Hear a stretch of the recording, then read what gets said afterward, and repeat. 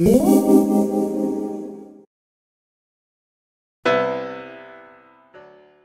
back to Fast Gadgets. As you know, I'm an advocate for privacy, and I always find interest in articles that talk about some of the privacy issues we found we find with different applications and technology devices that are out there.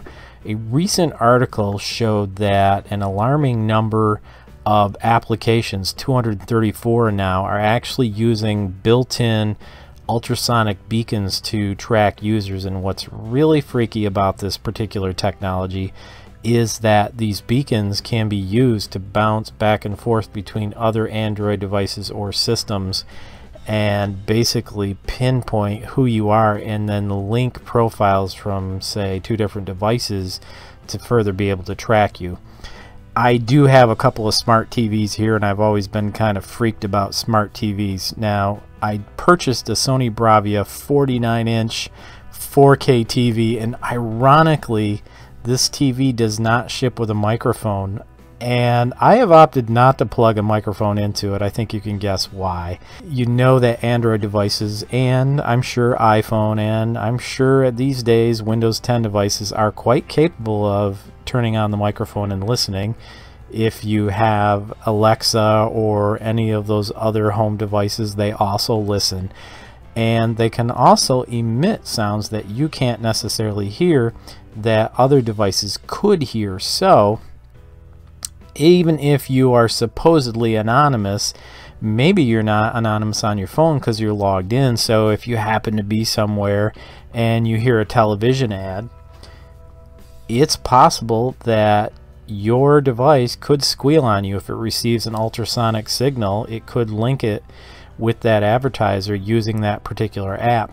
Now, this particular article did not say which of the 234 applications in the Android store were using the ultrasonic cross-device tracking, now called UXDT, but I'm sure we can find that list and have a look at it, and it might be worth looking at. And I would not be surprised if many of the major uh, players out there are actually using this technology.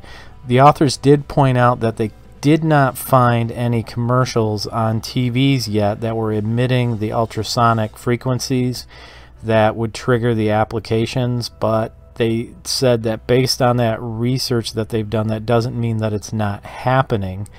It's just that they didn't find any. And the reason they think it, it probably is happening is because when they look in April 2015, there were only six Android apps that actually had UXDT enabled.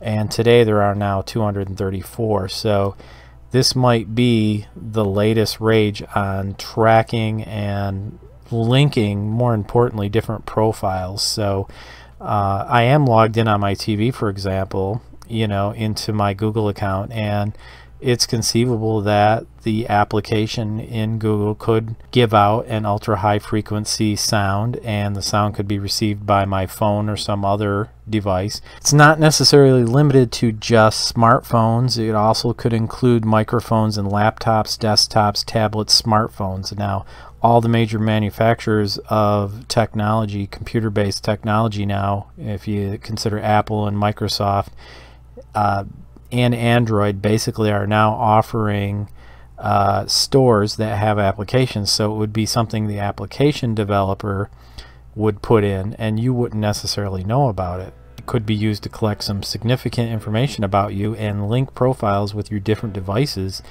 possibly even include more information about where you are, when you are, and why.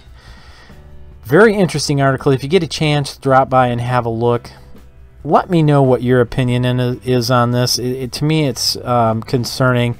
The authors do say that it's somewhat of an issue now, and they see it as a very large issue in the future. So it is something that we're going to have to keep an eye on.